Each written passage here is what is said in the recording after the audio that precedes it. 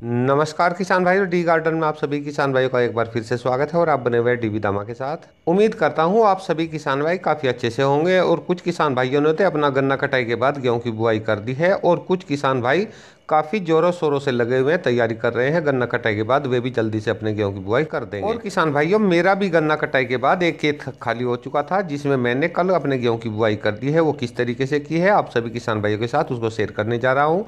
तो जैसे ही किसान भाइयों, मेरा खेत खाली हो गया।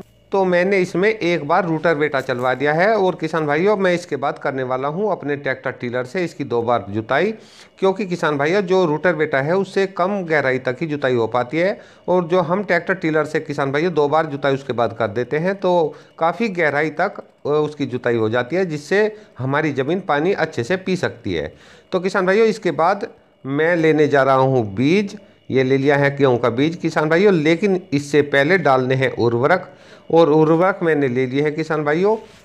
ये ले लिया है किसान भाइयों मैंने डीएपी का एक बोरा, क्योंकि किसान भाइयों, ये खेत मेरा लगभग एक एकड़ के आसपास है, थोड़ा कम है।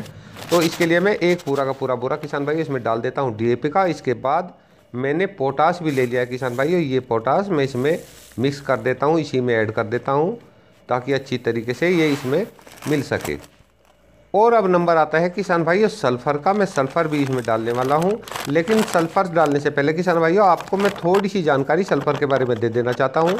किसान भाइयों, सल्फ़र दो तरीके के आते हैं। एक तो पाउडर के रूप में आता है, एक दानेदार आता है, जैसा कि आप वीडियो में देख पा रहे हैं।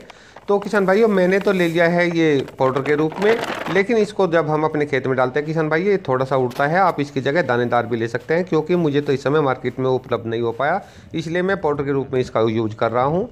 तो किसान भाइयों, ये देखिए, मैंने सब उर्वरक एक जगह मिला लिए हैं और अब थैले में भर करके इसको मैं डालने जा रहा हूँ अपने खेत में। और किसान भाइयों, इस तरीके से मैं पूरा का पूरा उर्वरक अपने खेत में डाल दूँगा और उसके बाद किसान भाइयों, नंबर आ जाता है गेहूँ के बीज का।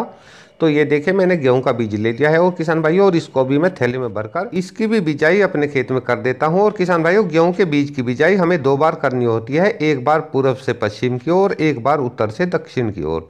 तो इस तरीके से किसान भाइयों, हमारे गेहूँ का बीज अच्छे से सारे खेत में बिखर जाता है और इसको बखेरने के बाद किसान भाइयों, उर्वरक हमने पहले डाल दिए हैं। और ये सब करने के बाद किसान भाइयों, एक बार फिर नंबर आ जाता है रूटर बेटा का, इसमें एक बार और हम रूटर बेटा चलवा देंगे ताकि हमारे उर्वरक व हमारा गेहूँ का बीज अच्छे से मिट्टी में मिल जाए। तो इस तरीके से किसान भाइयों, मैंने एक बार इसमें और रूटर बेटा चलवा दिया है और इस तरीके से किसान भाइयों, मेरे गेहूँ के खेत की बिजाई हो चुकी है। तो किसान भाइयों, आप भी कुछ इस तरीके से अपने गेहूँ के खेत की बिजाई कर सकते हैं, लेकिन इसमें थोड़ा सा अंतर आ जाता है। किसान भाइयों, चेंज किया जा सकता है। मैंने एक बार रूटर बेटा निकलने के बाद में दो बार अपने ट्रैक्टर टीलर से इसकी जुताई की है, लेकिन कुछ किसान भाई दो बार पहले रूटर बेटा चलवा सकते हैं। उसके बाद में बीज बखेर करके और उर्वरक डाल करके अपने गेहूँ की बिजाई अपने ट्रैक्टर टीलर द्वारा कर सकते हैं। और कुछ किसान भाइयों के पास में जिनके खुद का ट्रैक्टर टीलर नहीं है, वे किसान भाई एक बार पहले अपने खेत में रूटर बेटा चलवा लेंगे। उसके बाद में अपने गेहूँ का बीज व उर्वरक डाल करके दोबारा से एक बार फिर से रूटर बेटा चलवा देंगे। तो इस तरीके से सभी किसान भाइयों के गेहूँ के बीज की बिजाई हो जाती है। तो किसान भाई, ये थी आज की जानकारी। जानकारी पसंद आई हो तो मेरी वीडियो को आप लाइक कर सकते हैं और जो किसान भाई मेरे चैनल पर नए हैं, वो मेरे चैनल को सब्सक्राइब कर सकते हैं, इस घंटी सी को भी दबा सकते हैं ताकि आने वाले वीडियो उन तक जल्दी से जल्दी पहुँच सके।